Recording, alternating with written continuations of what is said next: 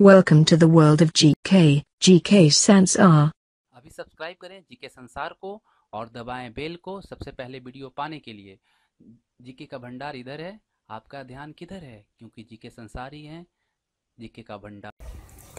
नमस्कार दोस्तों जीके संसार में आप सभी का स्वागत है। आज आप सबके लिए एक बड़ी खबर लेकर आए हैं और बड़ी खुलासा करने वाले हैं कि जिन्होंने बी टे टू का पेपर दिया था उनके रिज़ल्ट कल डिक्लेयर कर दी गई है।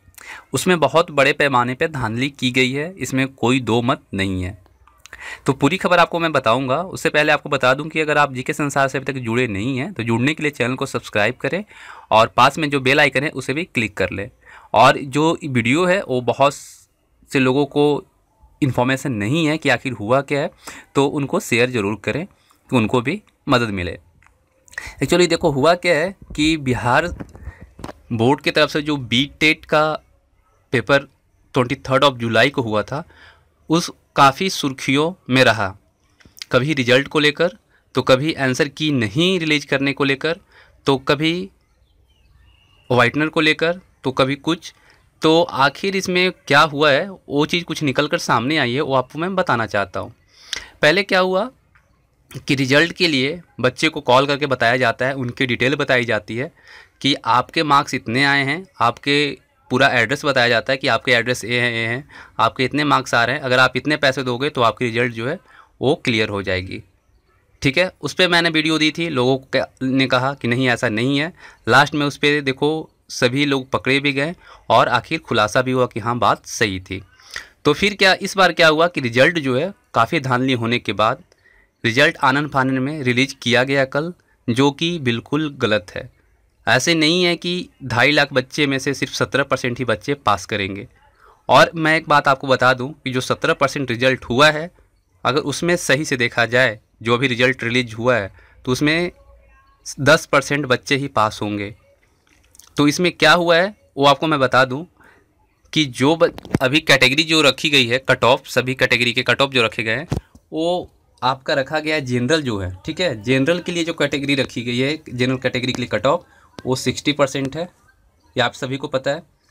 ओ बी सी जिस, जो इसमें आता है B C E B C और जनरल या फिर जितनी महिला हैं, वो आती हैं इसी सेक्शन में। उनके लिए रखा गया है फिफ्टी फाइव परसेंट ठीक है? और जो एस सी एस टी से बिलोंग करते हैं, उनके लिए है फिफ्टी परसेंट ये आप सभी को पता है। तो इसमें कुछ चेंजेज क्या हुए हैं? इसमें चेंजेज जो हुए हैं कि जो पेपर हुआ था, उसमें कुछ क्वेश्चन गलत थे। तो उस क्वेश्चन को हटाकर जितने क्वेश्चन बचे, जैसे सोशल साइंस में ले लो पेपर टू के तहत जो सोशल साइंस हुआ था, उसमें सिक्स क्वेश्चन गलत थे। ठीक है? तो क्या किया गया है कि वन फोर्टी फोर का अगर मेल आप हैं जनरल से तो सिक्सटी परसेंट आपको लाना है। अगर आप फीमेल हैं तो आपको फिफ्टी फाइव परसेंट लाना है। इसी तरह से रिज़ल्ट दी गई है। यानी कि अगर आप फीमेल से हैं तो आपको सेवेंटी नाइन नंबर लाने हैं। तो इस तरह से रिज़ल्ट जारी की गई है। जो कि इसमें सबसे बड़ी बड़ी बात है कि जो क्वेश्चन गलत हुए हैं, वो बोर्ड की तरफ़ से हुई है, ना कि कैंडिडेट की तरफ़ से। तो इसमें तो फुल मार्क्स मिलने चाहिए सबसे पहले। क्योंकि अगर उसके जगह पे दूसरे क्वेश्चन होते हैं तो मे बी स्टूडेंट जो है कैंडिडेट जो है, उसे सॉल्व कर पाते। हैं और जो एक से दो नंबर से अभी फेल हुए हैं वो आराम से पास कर जाते हैं। तो सबसे बड़ी धांधली तो यहीं पे हुई है। बोर्ड की गलती कैंडिडेट क्यों झेले, ठीक है? क्योंकि इनकी कैरियर की बात है, बोर्ड की कुछ नहीं, बोर्ड अगले साल फिर एग्ज़ाम कंडक्ट करवा देगा, लेकिन एक साल के चक्कर में कितने कैंडिडेट की जो कैरियर है वो चौपट हो जाएगी। दूसरी बात यहाँ पे आती है कि सिक्सटी परसेंट जो मार्क्स रखे गए हैं जनरल के लिए तो ये इसी के कैटेगरी, इसी कैटेगरी के अंदर अदर स्टेट वाले भी आते हैं। ठीक है? क्योंकि आउटसाइड ऑफ़ बिहार, जितने भी बिहार के बाहर के कैंडिडेट हैं, वो जनरल में काउंट होंगे, ना कि रिज़र्व कोटा में आएँगे। लेकिन यहाँ पे धान ली क्या किया गया यहाँ पे धान ली किया गया कि जो बच्चे, जो कैंडिडेट बाहर के हैं, झारखंड यूपी बंगाल कहीं के भी हैं, उन्होंने क्या किया कि कुछ को तो पता होता है कि हाँ जो मैं बिहार में फॉर्म भर रहा तो मैं जनरल काउंट होऊँगा तो जनरल वो डाल दिया। तो उसकी रिज़ल्ट जो है, अगर उसको सिक्सटी परसेंट मार्क्स नहीं मिले तो उसकी रिज़ल्ट जो है रोक दी गई, फेल कर दिया गया। लेकिन जो कैंडिडेट एससी में अगर आता है तो एससी डाला है। जो ओबीसी में है तो ओबीसी डाला है। अगर उसने डाल दिया है तो उसकी रिज़ल्ट जो है बिहार के रिज़र्व कोटा के अंतर्गत जारी की गई है, जो कि बिल्कुल गलत है। फॉर एग्जांपल मैं बता देता हूँ, एक झारखंड का कैंडिडेट है, जो ओबीसी से बिलोंग करता है बीसी से। उसकी 81 मार्क्स हैं और वो क्वालिफाई कर गया। ठीक है?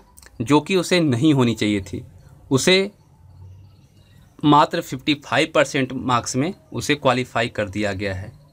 जब बोर्ड इतना सक्षम नहीं है कि पहले वो फ़िल्टर कर सके, कौन कैंडिडेट जो है वो बिहार में रिज़र्व कैटेगरी के अंदर आता है, कौन जो है कि बाहर स्टेट के है, वो जनरल में काउंट होगा तो आप कैसे ब्लेम कर सकते हो कैंडिडेट को कि आपने वाइटनर यूज़ किया है और आपकी रिज़ल्ट पेंडिंग की जाती है? यानी कि आप चीट कर रहे हो कैंडिडेट के साथ।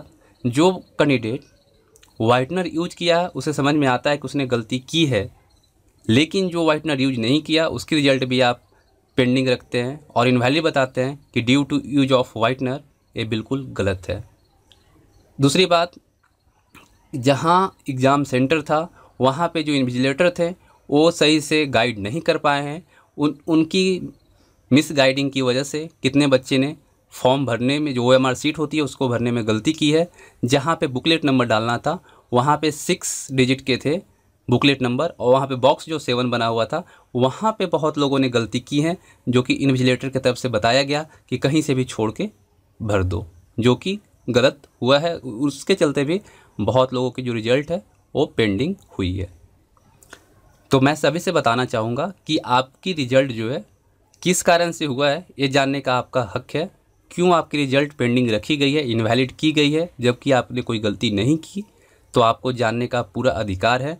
आप सब जिनकी रिज़ल्ट पेंडिंग हुई है और जिनको लगता है कि उनके मार्क्स कम आए हैं तो सबसे पहले मैं बता दूँ कि जो क्वेश्चन गलत हुए हैं, किसी सेक्शन में साइंस सेक्शन में दस हुए हैं तो सोशल साइंस में छः हुए हैं तो जो बिहार बोर्ड है, उसको फुल मार्क्स देने होंगे। क्योंकि जो क्वेश्चन है, वो बोर्ड की तरफ़ से गलती की गई है, उनके सेटर ने गलती की है, कैंडिडेट की कोई गलती इसमें नहीं है। तो इसलिए उसे फुल मार्क्स देने ही होंगे। और दूसरी बात, जो लोग वाइटनर यूज़ नहीं किए और उनका रिज़ल्ट ड्यू टू वाइटनर बता रहा है इनवैलिड वो एक बार आप सभी बोर्ड ऑफ़िस जाएँ और वहाँ पे आप सभी पहले जानने की कोशिश करें, जो वहाँ पे ऑथोराइज पर्सन हो, उससे आप जानने की कोशिश करें कि आखिर रिज़ल्ट जो है, क्यों पेंडिंग बता रहा है इनवैलिड क्यों बता रहा आखिर रीज़न है क्या। अगर वहाँ से आपको सेटिस्फेक्शन नहीं मिलता तो आप आरटीआई डालें। आरटीआई में अगर आपको जवाब नहीं मिलता तो आप फर्दर स्टेप के तौर पे आप न्यायालय भी जा सकते हैं। क्योंकि बिहार में अभी कुछ दिनों से इस तरह की घोटाले और धांधली हो रही हैं।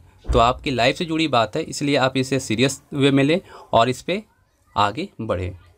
तो और मैं कहता हूँ कि अभी जो अगर रिज़ल्ट सही से रिलीज़ की जाए तो 10 परसेंट लोग भी पास नहीं होंगे, जो कि अभी 17 परसेंट दिखाया जा रहा है। क्योंकि इसमें बहुत से लोग हैं जो आउटसाइडर बिहार हैं, उनकी रिज़ल्ट शो की गई है रिज़र्व कैटेगरी में। तो कैंडिडेट आप सभी मिलकर, जितने आप सबकी ग्रुप है, आप सभी एक बार ज़रूर बोर्ड ऑफ़िस जाएँ। और अगर आपको पास नंबर है तो नंबर पे पहले संपर्क करें। नहीं होता तो आप बोर्ड ऑफ़िस जाएँ। और उससे भी नहीं होता तो आप आरटीआई ज़रूर डालें। और आपको जवाब जानने का हक है कि आपकी रिज़ल्ट किस बेसिस पे पेंडिंग रखी गई है। सभी तरह से धांधली होती है, कभी कॉल करके आता है कि आप इतने पैसे दो, आपको पास किया जाएगा। जो रियलिटी है उससे तो आपको फेस करना ही होगा।